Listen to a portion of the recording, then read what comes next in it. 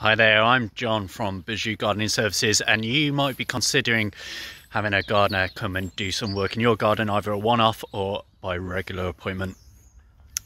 I just thought I'd quickly give you some top tips um, to navigate that process um, and uh, take on your first work with a gardener. So I would always encourage people to consider the type of service that they would like to experience. Are you A, someone that just wants the job done, you don't care who by and how they do it, you just want it done quickly?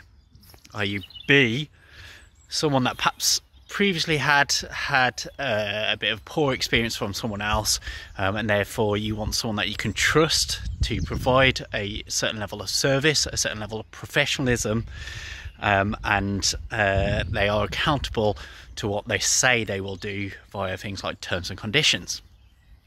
Or are you C someone that values service someone that's prepared to pay for quality that's someone that is really wanting a simplified process for them. They want the professional to be doing the peddling, the uh, rushing around behind the scenes so that they don't have to. Frankly, they are employing a service and they are looking for a more simple solution within the industry, um, I'm particularly talking about professional gardeners at this stage. Um, however, it perhaps applies to the wider uh, world of uh, employing a service, um, having someone come to uh, your home possibly um, and provide a, a, solution for you.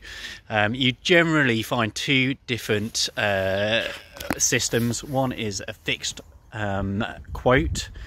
Um, this is when you agree on a particular outcome that you want achieved and that person quotes you for that amount. You may be familiar with this type of service, particularly when it comes to getting work done on your car. You want an, uh, a service done on your car, you're given a price for that service um, and then the work is fulfilled. The other pricing model is an hourly type rate. Now, an hourly type rate, um, you agree on how much that person is going to uh, be paid per hour. However, it might create a high dependency on you because you're having to specify what time that person starts and finishes and what they are doing um, on an hourly basis um, and also um, navigating situations when time runs over an hour or um, if that person isn't working as efficiently as you would like.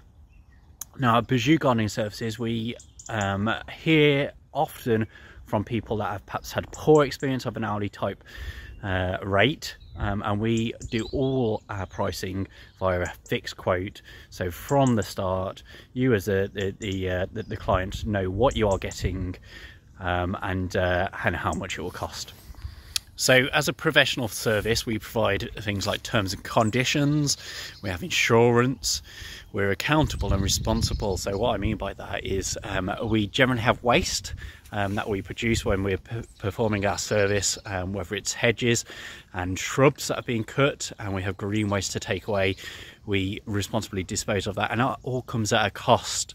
Now if you are expecting someone to, uh, to, to come out to your house, possibly in their, their work vehicle, um, which also will be uh, insured. Um, they might have public liability. We would hope they would, uh, working in your home environment. This all comes at a cost.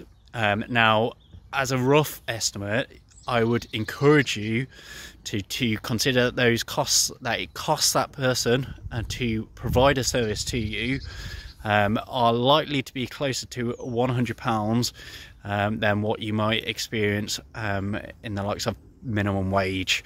Um, so obviously the, the scope of work and that that person will be delivering to you will vary vastly and the scale of, of uh, the space that you have um, in terms of the actual workload when they're at your premises but just to, to get a service to your front door um, and do it on your premises costs that business money and subsequently you should expect more quotes that are closer to £100 than minimum wage.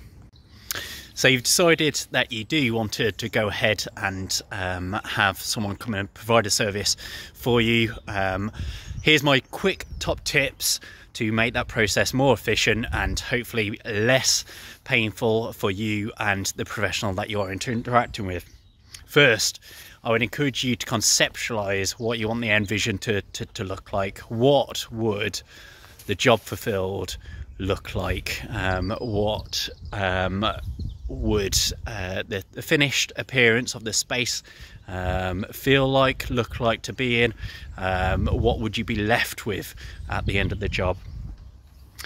Then I would encourage you to consider the level of service that you want. So, like I mentioned at the start of the video, do you just want anyone to do it? Do you want a certain level of professionalism um, from the person that uh, provides the service? Or are you looking for an easier um, solution? Are you looking to, to uh, perhaps provide or pay for quality? And then thirdly, what is your price range? So none of us like to um, uh, show our cards when it comes to uh, how much we're prepared to pay because we're fearful that if we say too much, um, we might end up being quoted more than what the actual uh, cost of the job is. Um, but I would really encourage you to, to, to perhaps consider a price range, um, an area um, that you're, uh, you're, you're prepared in your mind um, to, to sacrifice in exchange um, for for the services or goods um, that you are going to to, to receive. often, when we approach inquiries and we might ask them uh, for a particular price range, we are more than uh, keen to, to come out and uh, meet with people in person um, and see their space and discuss the, the, the quote in more detail. Um, but uh, but there is a large large range um, of people that um, believe uh, that they can pay for people come to, to their house um, uh, kind of minimum wage figure when um, you may find that uh, is very unrealistic. Um, so I would really encourage you to, to, to work out firstly the technical outcome that you want achieved secondly the level of service that you would like to receive and what are you what are you prepared to pay for it the price range. Okay if you've liked this video if you've found it helpful um, please do um, like and subscribe to our youtube channel. Um, and if you are in Lichfield district or locally um, in Staffordshire um, or the West Midlands in the UK um, and you would like some help in your garden do please feel free to get in touch it's Jon from Basjoo Gardening Services the link and the website is all in the description with possibly some further reading too Okay, thanks everyone.